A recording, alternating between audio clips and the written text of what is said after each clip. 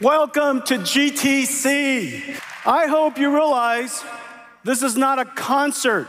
全球都在等辉达创办人黄仁勋引领 AI 的工业革命。This is Hopper. Hopper changed the world. This is Blackwell. 身穿招牌的皮衣，黄仁勋在辉达年会 GTC 上推出杀手级的 AI 运算晶片，采用辉达全新的架构 Blackwell GPU 晶片，名为 B 两百，由两千零八十亿个电晶体组成，支援 AI 大模型推理，并扩展到十兆参数，效能是前一代 H 一百的三十倍，还是台积电四纳米制程代工。黄仁勋没有透露价格，但他说。亚马逊、谷歌、微软还有特斯拉都会使用这款晶片。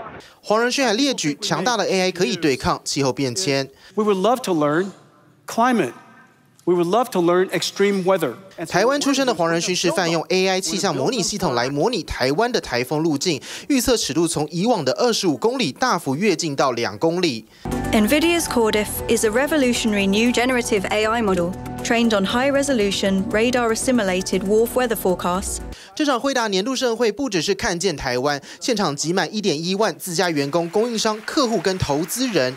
And so, therefore, the generative AI revolution is here. Well, what else can we generate? What else can we learn? 见证黄仁勋打开 AI 的未来大门。TV 选综报道。大约九十公分高、一举一律的小小机器人，踩着摇摇晃晃的步伐出现在舞台上。The intersection of computer graphics, physics, artificial intelligence, it all came to bear at this moment. AI 晶片龙头辉达执行长黄仁勋在 GTC 大会的尾声介绍，由迪士尼团队设计、使用辉达晶片与技术的最新人形机器人。Ladies and gentlemen, this this is Orange. And this is the famous green. They are the BDX robots of Disney. 黄仁勋本来打算跟小机器人一起结尾，但是他们仿佛都很有自己的个性。Five things. Where are you going? I sit right here.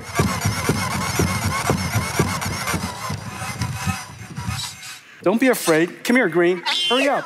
小绿像是害羞的孩子，待在原地不动；小橘则是遵守指令后，想要得到奖励。What are you saying? No, it's not time to eat. I'll give, I'll give you a snack in a moment. Let me finish up real quick.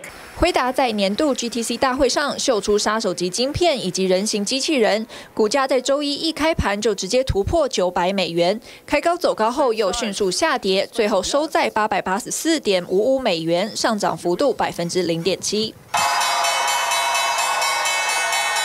美股受到科技股的振奋，三大指数齐涨，道琼指数上涨百分之零点二，纳斯达克指数上涨百分之零点八二，标准普尔五百指数则是上涨了百分之零点六三，唯有费城半导体指数中长以微跌零点一点作收。T B B 新闻综合报道。Units affected, they also include hardware, engineering, ad sales. So far, last night, CEO Sundar Pichai told his workforce to expect more cuts. An Amazon spokesperson did confirm those layoffs. The head of Prime and Prime Video and MGM saying in that memo that the company is making some of the cuts to prioritize investments for the long term. 美国科技裁员潮从前年延续到今年，却显然还没有结束。The layoffs to the start of 2024 signal a dramatic shift uh, in the tech industry. We're going to continue to see layoffs happen as the future of work has changed, as the future of technology has changed, and as investors' appetite for risk and growth versus profitability has dramatically changed as well. Meta 执行长祖克伯强调，这波裁员是因为 为前几年过度招聘导致员工太多，降低效率，现在必须精简管理，否认跟 AI 的发展有关。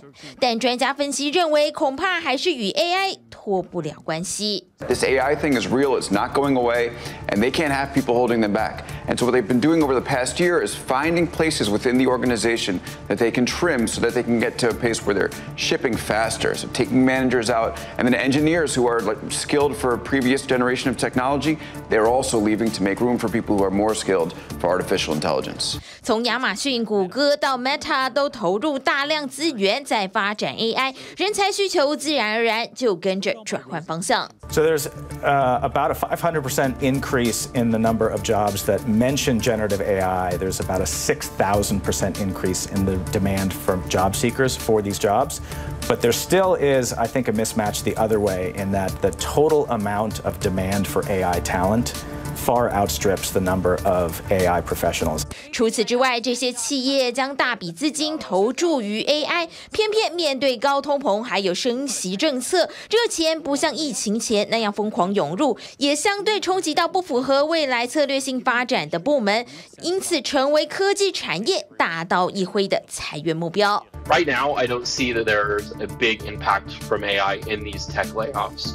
Uh, some uh, businesses have maybe cited that they're trying to, you know, shift priorities and they're letting some employees go to focus more energy on some of these generative AI tools. But I think it's important to say that that's very different than saying that companies are well, we can let people go now because you know generative AI and all these tools are taking jobs. 但这些员工仍旧间接性的受到 AI 冲击。长期观察戏股的媒体人也认为，虽然短期内 AI 还没有开始跟人抢饭碗，但并不表示这件事不会成真。Every company in every industry is trying to figure out how to use AI in everything they do. I mean, AI is going to create a lot more jobs as well, but at the same time.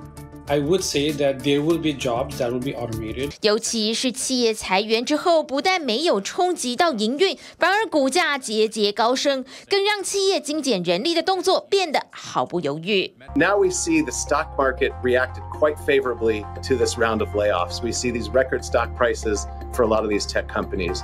And so the stock price, the, the, the investors really favored profitability, really favored this lean year that these tech companies had.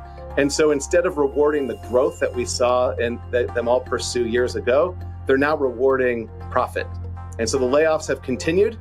People have become used to them. And regrettably and sadly, it seems that the layoffs is going to be the new normal. 美国不只是科技业，包括像是 UPS 的运输业，或是媒体业、金融产业，其实也都陆续传出裁员的坏消息。专家认为，这其实是一大警讯。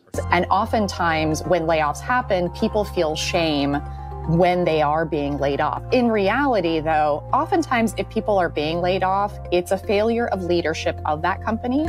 经济学家也担心，大量科技业高薪人才没有跟上这一波转换，因此失去饭碗，恐怕将冲击到美国的消费力，经济市场也将受到冲击。尽管目前科技业裁员占比并不高，但如果持续不停，依旧会造成一波的恶性循环。